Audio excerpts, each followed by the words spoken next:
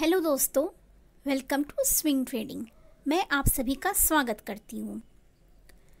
आज के कहानी कामयाबी की सेशन में ये पिक्चर जो आप सभी देख सकते हैं, क्या आप पहचान सकते हैं कि ये पिक्चर किसकी है? आप सभी में से बहुत लोगों ने गेस कर भी लिया होगा और नहीं भी किया होगा।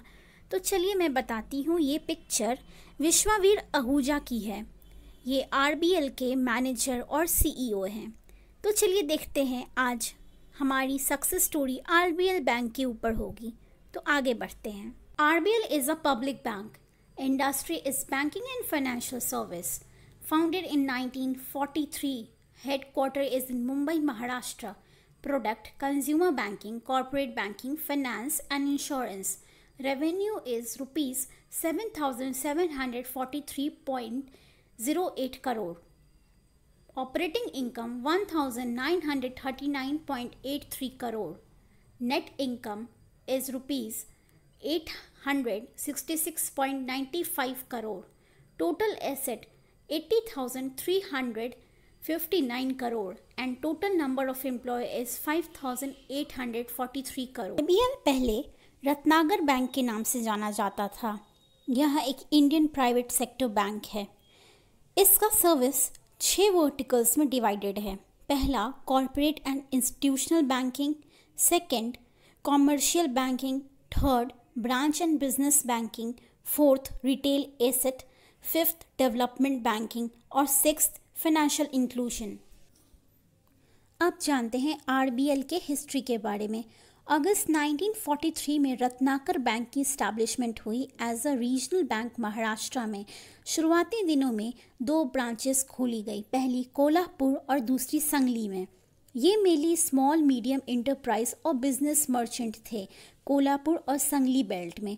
14 जून 1943 में कोल्हापुर डिस्ट्रिक्ट इनकॉर्पोरेट हुआ as a Ratnakar bank limited 1959 में बैंक को कैटेगराइज किया गया शेड्यूल्ड कमर्शियल बैंक एज पर reserve bank of India act 1934 के तहत। इसी समय ये रिफ़र किया जाने लगा as N H four bank के नाम से। 1970 में इसे लाइसेंस भी मिल गया आरबीआई से। 2014 में इसका नाम बदल के आरबीएल बैंक लिमिटेड कर दिया गया। अब जानते हैं बैंक के कोलैबोरेशन के बारे में।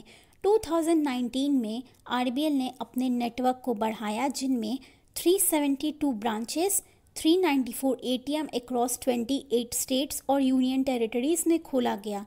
2016 में बैंक ने फाइनेंशियल लिटरेसी प्रोग्राम रन किया जो सक्षम नाम से जाना जाता है। ये प्रोग्राम सीडीसी से कोलैबोरेटेड था।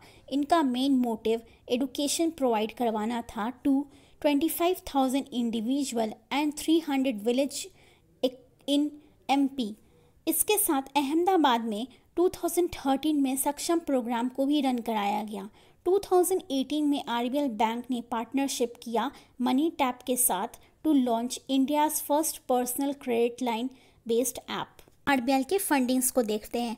आरबीएल बैंक ने फंडिंग रेज किया from investors such as C group multiple alternate management Asian development bank 2010 में बैंक ने रुपीज़ 4000 करोड़ फंड रेस किया थ्रू इन्वेस्टर्स 2011 में बैंक ने 700 करोड़ 2013 में 376 करोड़ 2014 में 328 करोड़ 2016 में 488 करोड़ रेस किया.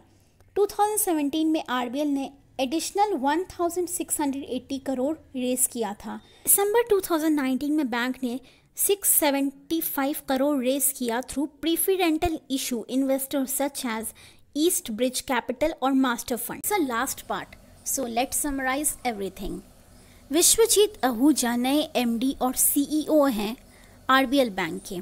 विश्वजीत आहूजा को टोटल 36 इयर्स ऑफ़ एक्सपीरियंस है बैंकिंग सेगमेंट में। आरबीएल ज्वाइन करने से पहले mister Ahuja bank of America में काम करते थे। जब वो बैंक ऑफ़ अमेरिका में काम करते थे, तब उन्होंने फॉरेक्स इन्वेस्टमेंट बैंकिंग और होलसेल हैंडल किया है। 2001 से 2010 तक mister Ahuja bank of America के सीईओ रहे फॉर इंडियन डिवीज़न आरबीएल के लोन्स वर्किंग कैपिटल के लिए होते हैं। ये लॉन्ग टर्म के लिए लोन प्रोवाइड नहीं करवाते। Generally less than one year के लिए होते हैं, क्योंकि इससे इजी रहता है लोन को रिकवर करना और लोन बुक में भी अच्छा ग्रोथ देखने को मिलता है। क्रेडिट कार्ड सेगमेंट में आर बी एल टाइप है बजाज फाइनेंस से और बजाज फाइनेंस का पार्टनरशिप ई टी मनी के साथ है for loan pass credit card दो मिलियन से भी ज़्यादा यूज़र है R B L credit card के। इस दो मिलियन में sixty percent user Bajaj finance के भी आते हैं। So this was all for today in कहानी कामयाबी की सेशन उम्मीद है आप सभी को पसंद आई होगी। अगर वीडियो पसंद आए तो like share and subscribe side में दिए गए बेल बटन को भी ज़रूर प्रेस करें ताकि नेक्स्ट टाइम से ऐसी वीडियो की अपडेट मिलती रहे। Thank you